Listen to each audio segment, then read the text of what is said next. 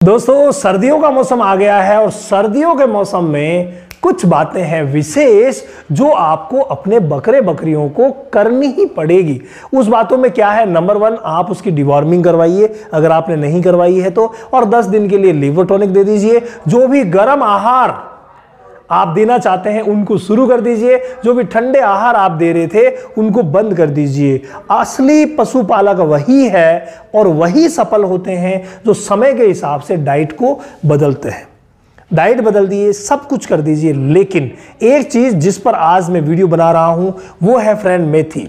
ये 20 ग्राम मेथी प्रति बकरी को। आप ज़रूर खिलाइए। मेथी दाना इतना इंपॉर्टेंट है, इतने विटामिन मिनरल इसमें है, इतने डाइजेशन की कैपेसिटी इसके है, इतना ये ग्रोथ करवाती है फेट बढ़ाती, वज़न बढ़ाती, यानी इसके गुण जो है वो बहुत ज़्यादा है।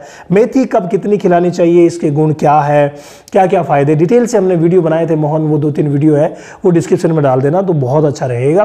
तो मेथी के डिटेलिंग आप कर सकते हैं, लेकिन मेरा ये वीडियो बनाने का उद्देश्य है कि अगर आपने अभी तक मेथी नहीं खरीदी है तो मौसम आ गया है, अब आप मेथी खरीद लीजिए। और रोज ज़्यादा की आवश्यकता नहीं है 20 ग्राम मेथी उस बकरी को दीजिए जो मिल्किंग में है।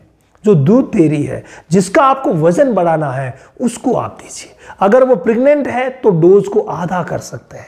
यानी 20 ग्राम अगर आप देना चाहते हैं, मान लो 20-30 किलो की है तो वहाँ पर आप 10 ग्राम भी दे सकते हैं। लेकिन प्रेगनेंसी में भी मेथी बहुत अच्छी रहेगी। आप मेथी कई रूपों में खिला सकते हैं। मेथी को आप भिगो करके खिला सकते हैं। मेथी को आप बॉईल करके खिला सकते हैं और कई भाई जो है वो मेथी का पाउडर बना करके भी खिला देते हैं। थोड़ी सी कड़वी होने की वजह से डायरेक्टली बकरियाँ खाती नहीं है। तो थोड़ा सा गुड़ वगैरह मिला दीजिए। सर्दी के मौसम में बहुत शानदार रहेगा। ये मेरी बात आप नोट कर लीजिए। बीस ग्राम जो मेथी है ना, वो बहुत ही शानदार साबित होने वाली है।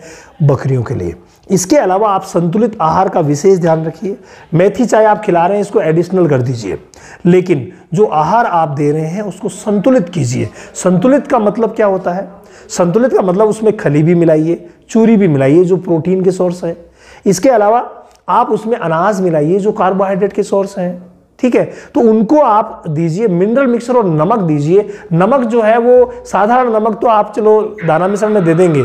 इसके अलावा आप चाटने के लिए भी काला नमक, सेंधा नमक वो भी रखिए। तो ये सारी की सारी चीज़ें अगर आप करेंगे तो भाई जो मौसम बदल रहा है, इसमें 20 ग्राम आप खिलाइए मेथी रोज और ये पूरे काम कीजिए। फिर देखिए कमाल, चमत्कार होना तय है और इम्यूनिटी भी बढ़ेगी।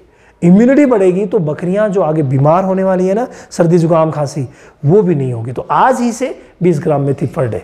शुरू कर दीजिए।